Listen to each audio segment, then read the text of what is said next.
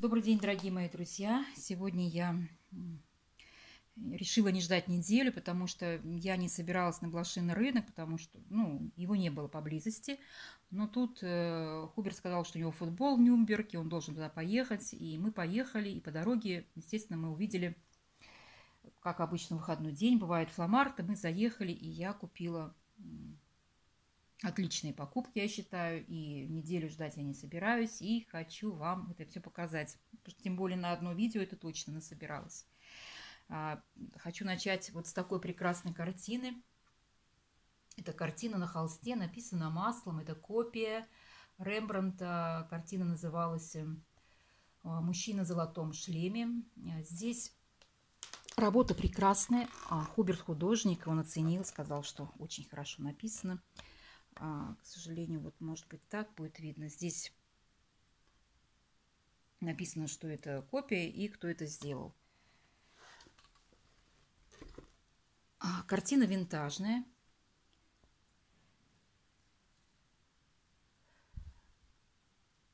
Я думаю, что она очень, если интерьер, интерьер позволяет, располагает, то она, мне кажется, впишется очень замечательно. Такая вот красотка. Повторяю, картины встречаются редко, чтобы маслом. И я всегда смотрю. Но много очень охотников за пейзажами, которые старинными пейзажами. И разбирают мгновенно. А вот такая вот э, тарелочка. Она называется «Цветы у окна». Состояние новой вещи и Сейчас я вам покажу, кто у нас ее изготавливал. Изготавливал ее это Розенталь. Она была сделана в 91 году. Вот название картины. Расписано все вручную. Ручная роспись. И подпись автора. Вещь коллекционная была выпущена небольшим тиражом. И когда я купила уже вот эту картину замечательную, мой взор упал просто на красивый. Я флорист в прошлом, и э, взор упал на очень красивые а, букеты на, на тарелочках. Я их купила. Но когда, придя домой, решила посмотреть, что это у нас. Ну, и еще была Худчин-Ройтер компания, то, что я не раздумывая взяла. А когда я пришла домой и посмотрела, что это такое, оказалось, что это лимитированная серия тарелок под названием «Цветы». И она создается художницей Урсулой Бант и по сей день, и начиная с 1989 года, каждый год выпускается по одной тарелочке. Ну, в смысле, не по одной штуке, а лимити лимитированное очень маленькое количество тарелок, ну, вот один пейзаж, ой, пейзаж, а, один букет, скажем, да, и по сей день их всего 29 штук. Выпускаются они каждый год по одной тарелочке. То есть вещь абсолютно уникальная. И я посмотрела, сколько она стоит. Стоит она довольно-таки прилично. Посмотрите, компания Худчин Ройтер. Это тарелочка 91 -го года.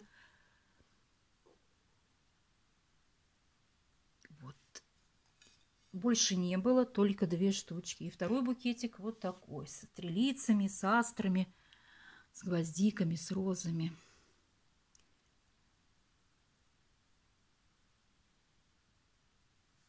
Подпись автора и 92 год.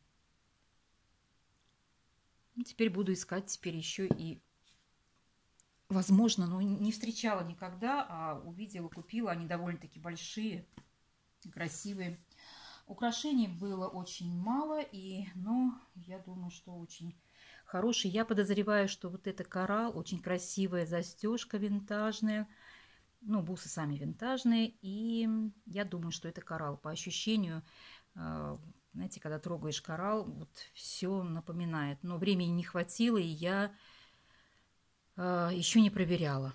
Потому что я повторяю, я сейчас просто как белка в колесе. Я хожу в шпрахшуле, изучаю язык, а, подрабатываю, дом большой, дома очень много работы. И хочется уделить время и детям, и мужу. Поэтому не успела еще проверить, но думаю, что стопроцентный коралл. Такие замечательные, красивые бусы. А вторые бусы это стекло, тоже состояние идеальное. Сейчас, секундочку, где у нас замочек, покажу вам. Вот старенький замочек и черные стеклянные бусы. Через узелок.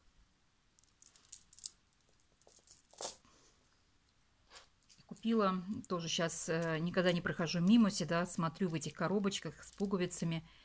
Купила вот такие вот пуговицы. Тоже старенькие.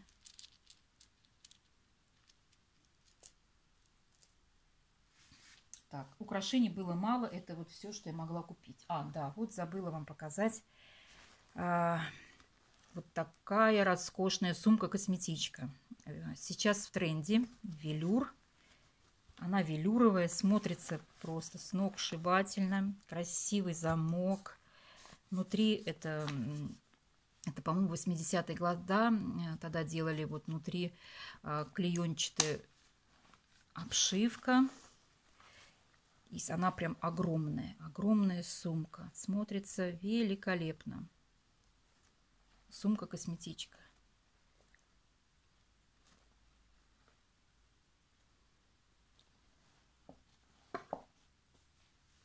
Так, теперь, наверное, перейдем к фарфору. А, вот такая вот вазочка. Компания и Минау. Вазочка довольно-таки старенькая, я думаю, что это 50-е, может даже 40-е года, роспись ручная. Но есть небольшая такая микроскопическая трещинка, даже не фарфора, а вот а эмали. Вот, она даже не ощущается вот на ощупь, ну, которую я обнаружила только дома.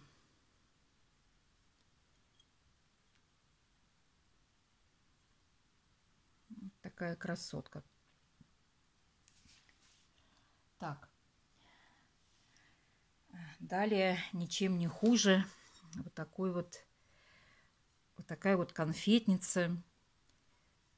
Это компания Шуман. Тоже, когда встречаю Шуман, покупаю всегда, потому что это нечастый гость. И тем более в таком прекрасном состоянии. Эти узнаваемые цветочки. Посмотрите маркировано дважды, одно на блюде, а другая маркировочка на ножке. Состояние просто люкс.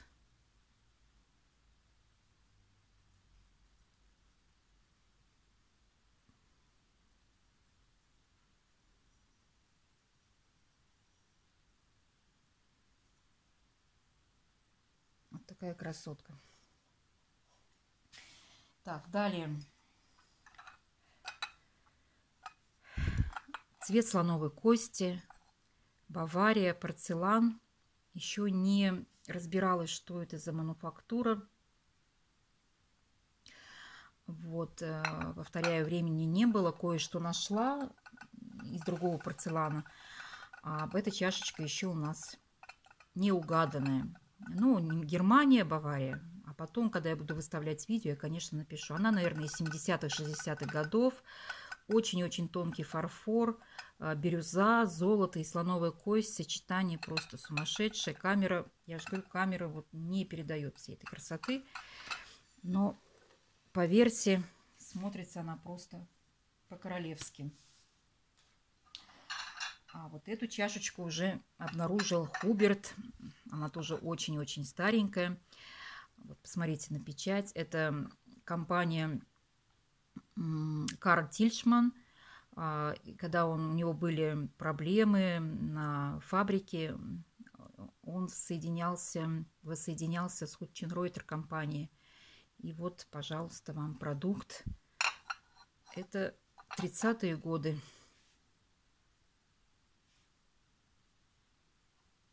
Или начало 40-х. Вот точно не помню дату, но вот Чашечка довоенная.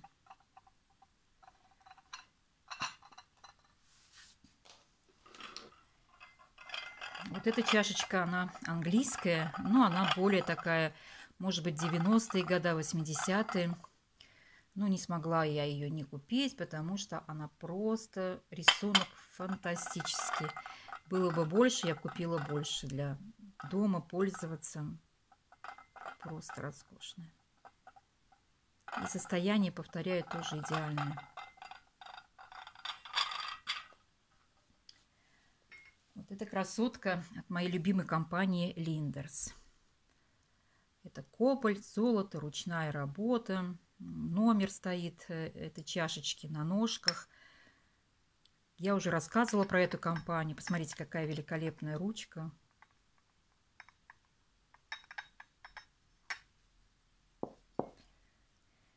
В основном все изделия этой компании изготавливаются вручную. В основном. роскошь. Встречается она крайне редко.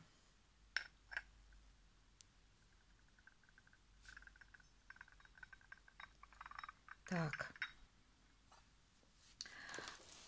А теперь я вам покажу а, вещь, которую я просто когда увидела, я чуть рассудок не потеряла. Потому что я давно очень гоняюсь за такими вещами. И вот, это вот просто повезло, я не знаю. Спасибо Богу. А, это антикварная чашечка 1920 года, то, что я нашла в интернете они. И это ардеко. Это великолепная старинная чашечка от компании, немецкого компании Фюрстенберг. Она была основана герцогом Браушвегским 1747 году. Тогда, 250 лет назад, на территории Германии было множество-множество замков старинных, и герцог э, выбрал очень старинный, на тот момент этому замку было уже 400 лет, и он выбрал именно его для основания своей фабрики э, в качестве местоположения – и этот замок находился в городе Фюрстенберг. Отсюда и название а, данной мануфактуры. И это уже тогда был замок достопримечательностью а, Германии. И он был возведен в 1350 году. А сейчас это музей фарфора, который очень востребованный. Туда очень много туристов. И ну, тогда а, герцог взаимодействовала с мануфактурой Мейсон, где, вот видите, улавливается почерк Мейсона, компании. Но по-своему, конечно, э, Фюрстенберг, она уникальна, по-своему почерк улавливается, но она просто уникальна. Недаром а все очень богатые отели, рестораны, ну, дома покупают именно только этот порцелан, потому что он очень-очень дорогой. И именно Хюстенберг на золото наносили черный рисунок, обратите внимание. Состояние идеальное. Идеальное, просто королевское. Чашечка. И вторая чашечка тоже от этой компании. Трио, простите. Тоже от этой компании, тоже этого периода. И хочу, что хочу сказать, что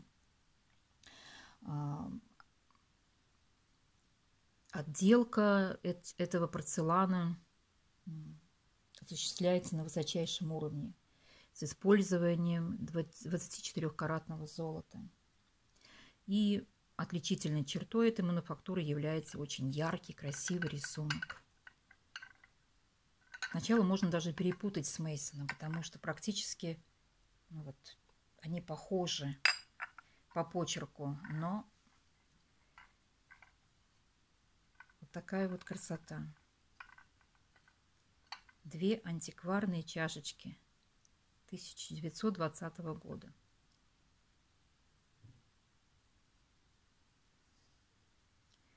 Вот на этом, наверное, пожалуй, все, друзья.